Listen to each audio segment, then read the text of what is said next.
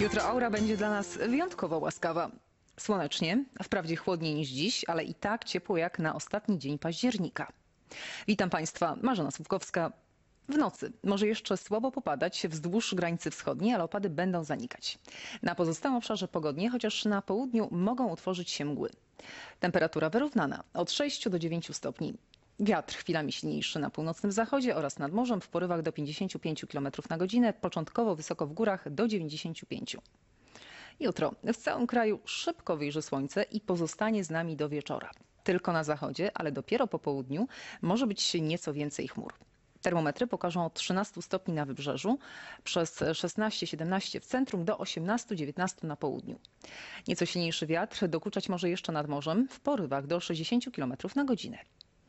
We wszystkich świętych pogoda będzie sprzyjała odwiedzinom grobów naszych bliskich. Słońca nie zabraknie, chociaż od czasu do czasu. Mogą pojawić się chmury, ale tylko dla urozmaicenia, bo nie spadnie z nich nawet kropla deszczu. Temperatura przyjazna dla wszystkich. Od 15-16 stopni w regionach północnych, przez 18 w centrum do 21 na południu.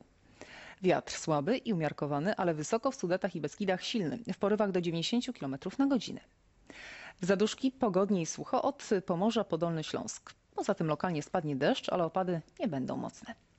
Najcieplej na południowym wschodzie, bo tam najpóźniej dotrze front. Temperatura będzie oscylować wokół 19, nawet 20 stopni.